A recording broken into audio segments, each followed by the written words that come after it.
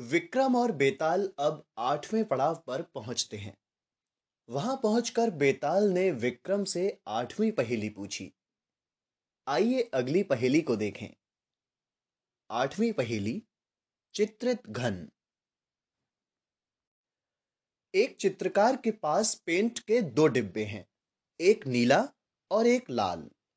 उसके पास लकड़ी के काफ़ी सारे घन हैं और सभी एक ही आकार के हैं।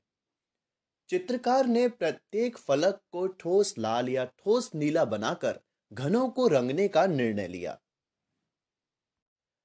उदाहरण के लिए वह एक घन को पूरे लाल रंग में रंग सकता है, अगला वाला पूरा नीला हो सकता है, तीसरा वाला जिसका सिर्फ़ एक फलक लाल और बाकी नीला और ऐसे ही बाकी घन अलग अलग तरीके से। बस फ़र्क यह है कि कोई भी दो घन एक जैसे नहीं होने चाहिए। दो घन एक जैसे तब माने जाते हैं, जब एक घन के सभी फलक दूसरे घन के सभी फलक से मेल खाते हों। चित्रकार कितने घनों को इस प्रकार रंग सकता है कि प्रत्येक घन एक दूसरे से भिन्न हो? बेताल को पूरा भरोसा था कि विक्रम इस पहेली का सही जवाब नहीं दे पाएगा। लेकिन विक्रम को अपने ऊपर पूरा भरोसा था और वह उत्तर समझाने लगा। उसने कहा, आइए, पहले घन को पूरा लाल और अगले पर पूरा नीला रंग करते हैं। अब मान लीजिए कि चित्रकार लाल रंग चुनकर एक बार में एक फलक को रंगना शुरू कर देता है। इसलिए तीसरे घन का एक फलक लाल रंग में होगा और बाकी के पाँच फलक नीले रंग में होंगे। अब यदि वह लाल रंग से रंगे हुए फलकों की संख्या एक से बढ़ा देता है तो इस घन के दो लाल फलक और चार नीले फलक होंगे। लेकिन इसको करने के भी दो तरीके हो सकते हैं।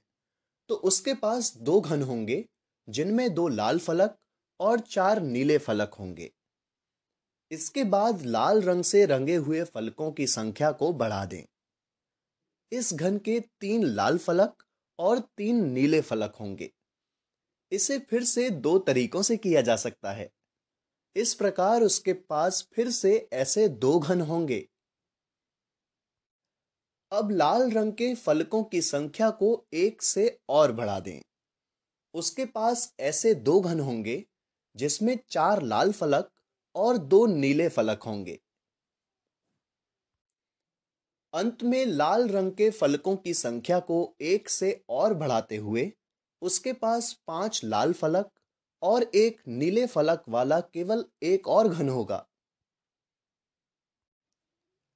यदि हम इन सभी संभावित घनों को जोड़ दें तो हमें कुल दस अलग तरह के घन प्राप्त होंगे।